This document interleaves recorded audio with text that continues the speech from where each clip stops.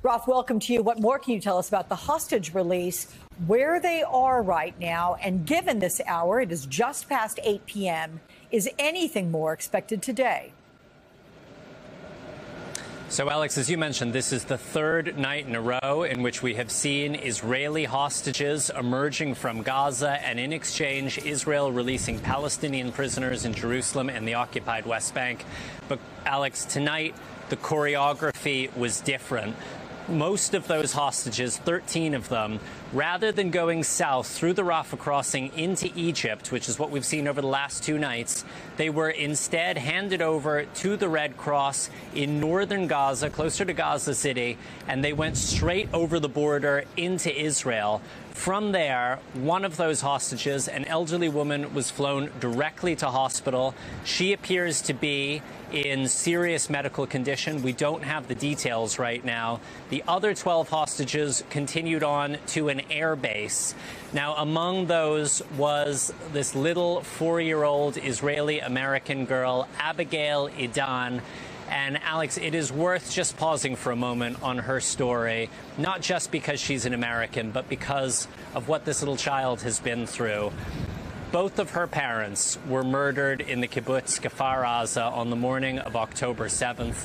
Her older siblings hid elsewhere in the house, and this little four year old walked away from her parents' bodies. She toddled over to a neighbor's house. She hid with them, only for that family to be kidnapped. And she has been held in Gaza for these seven weeks. Officials here in Israel and in the United States working to bring her home. She is now safely back inside of Israel.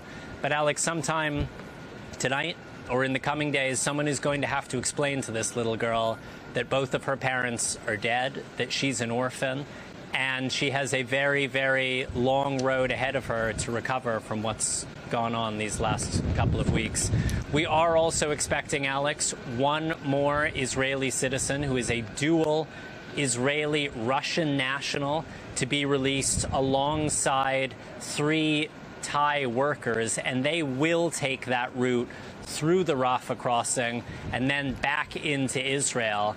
Now, you mentioned Prime Minister Benjamin Netanyahu was on the ground inside of Gaza earlier today. We are on the third of four days of this ceasefire.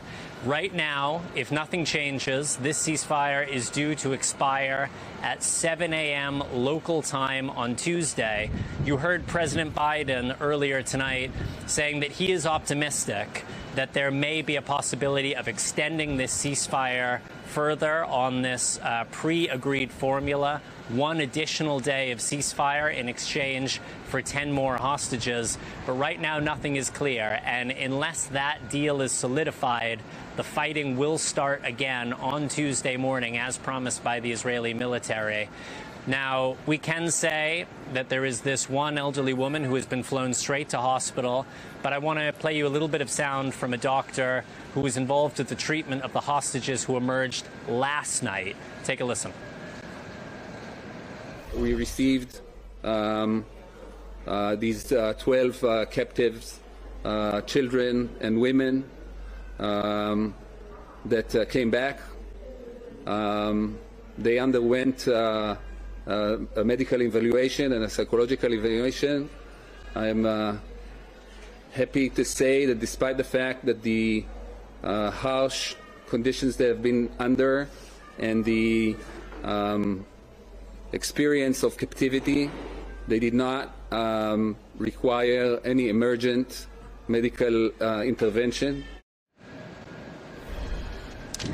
And Alex, we spoke last night to the family of Ohad Munder Zikri. He's a nine year old boy. He was released on the first night of these hostage exchange. This relative told us that Ohad explained to them that when they were in Gaza, in the captivity of Hamas, they weren't physically abused, they weren't tortured, but he described incredibly difficult conditions. He said at some points they were going days without food. He said they slept on wooden benches, not beds. Uh, and like all these other children, he has a long road to recovery ahead of him. Alex. Yeah, 100%. And let me just say, um, as I'm reading about this story about Abigail, which you so accurately discussed, the Brodutch family is the family whom she got over to. They had four of their family released today that includes a 10 year old, an eight year old, and a four year old. Uh, God willing, she was kept with them, which would have made it perhaps a little bit easier for them, for that mother or father to put their arms around all of those children together. It is absolutely heartbreaking.